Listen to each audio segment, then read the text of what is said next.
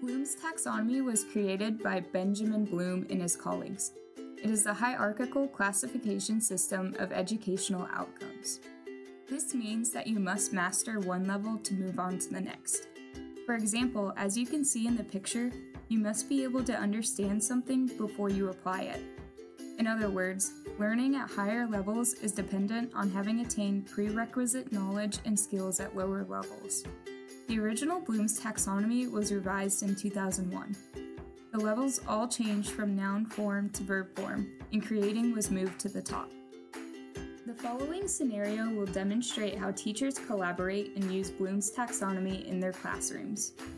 All right, so last week went great, and so now all we have to do is come up with a lesson plan for the life cycle of a butterfly for this week. How are we going to do that? That sounds really difficult. I know, Bloom's taxonomy. Great idea. The first stage to Bloom's taxonomy is remembering.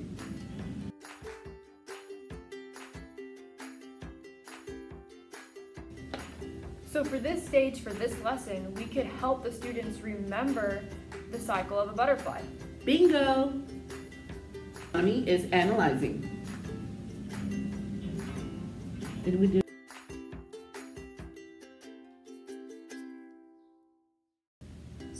Like, could we have a picture of different parts of the life cycle and have the students identify which, like, part of the life cycle they're in? That's about right. That's a good idea.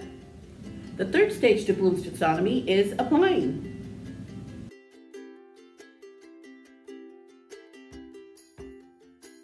So like for this stage, could we have the students create a story about a butterfly that's going through its life cycle? No, that's not it. We could have different parts of the life cycle on different pieces of paper and then have the students order them so it's in the correct order. Yes, that's it. Great! Why couldn't I think of that?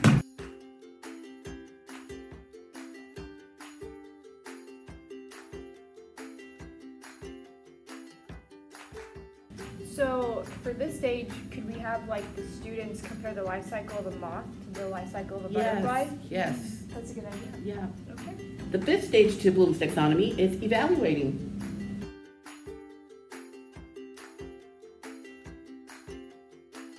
Okay, so maybe we could have a list of questions that the students could answer that would make them like really think about what the content is. So could we ask them something like, why do butterflies lay their eggs on the underside of leaves? Oh, that's good. The sixth stage to Bloom's taxonomy is creating.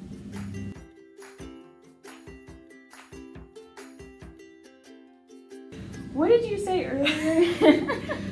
We could have the students create a fictional story based on the life of a butterfly. That would be creating, right? That's thinking.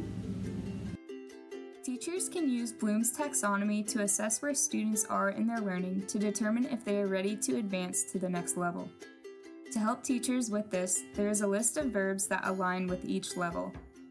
Bloom's taxonomy can also be used to create assessments, plan lessons, evaluate the complexity of assignments, plan project based learning, self assessment, and much more.